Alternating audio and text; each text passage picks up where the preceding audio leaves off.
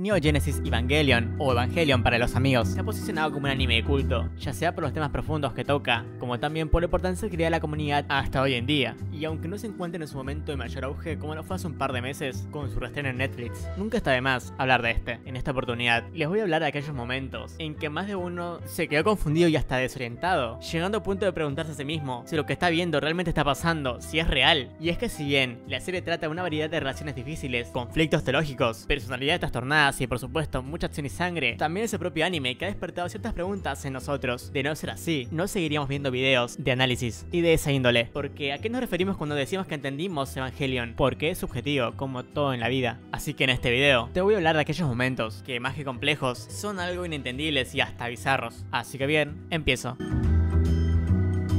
El pingüino Pen de Evangelion es protagonista de escenas absurdas. Su existencia misma ya es incoherente. Sin embargo, es un toque de humor en el anime. Es un alivio dramático que caracterizó al anime e hizo de Pen un personaje entrañable, tanto como Fatiga en Casados con Hijos.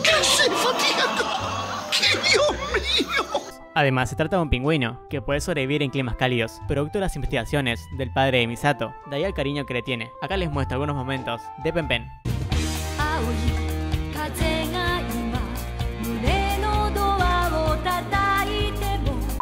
Esta escena más que absurda es meramente relleno. Esto pasa cuando en NERV requieren que los Evas de Shinji y Asuka se sincronicen para poder derrotar al ángel. Ambos se someten a un entrenamiento bastante estricto, pero más que nada absurdo. Comer a la misma velocidad, lavarse los dientes y sí, bailar también. Aunque bailar sería la más lógica, por cuestión de coreografía, seguir un tempo y así. Pero cuando uno empieza a justificar es que algo no está yendo del todo bien.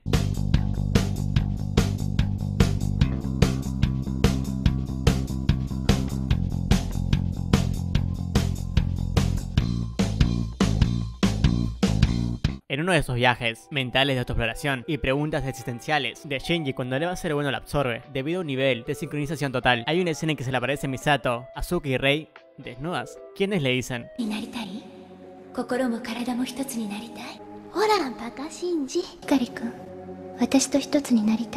Los paradigmas históricos de Evangelion aseguran que esto tiene una relación con el deseo sexual de Shinji y su complejo de hipo, pero si viste esto durante tu infancia o preadolescencia, sumándole poca psicología encima, ver a Misato diciendo esto resulta un poco desconcertante. Y solo querés que eso termine porque hasta uno lo pone algo incómodo. O por ahí solo soy yo. Bueno, es sabido que Shinji se la pasó hasta explorándose en cuestiones existenciales y demás, haciéndose preguntas como ¿quién soy? ¿Por qué yo? etc. Sin embargo, en esta escena de la película va por Azuka o Asuka para que pilote eleva. Y es que parece que no se da cuenta de su estado de salud o no sé qué le pasa. Entonces la empieza a sacudir y en el momento en que la destapa, su pecho queda descubierto. Bueno, ya saben lo que pasa.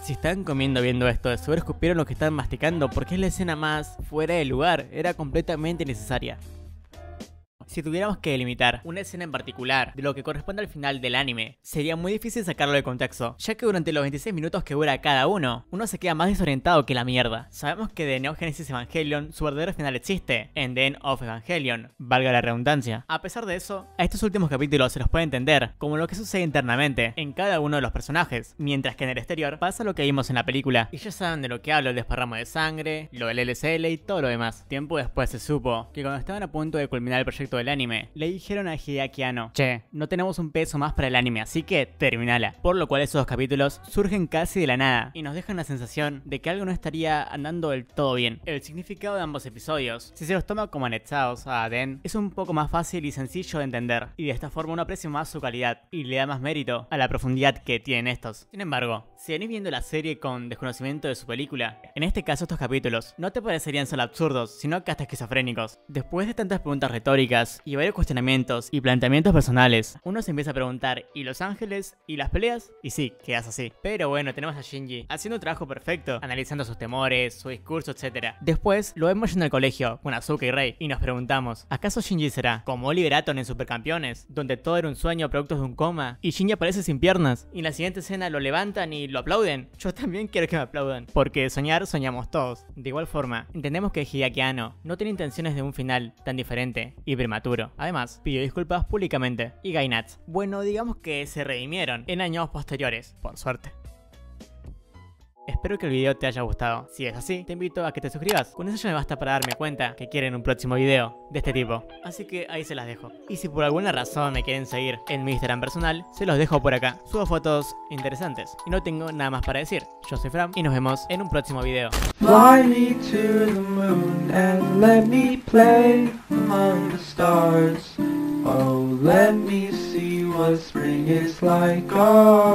Jupiter and Mars. Fly me to the moon and let me play among the stars. Oh, let me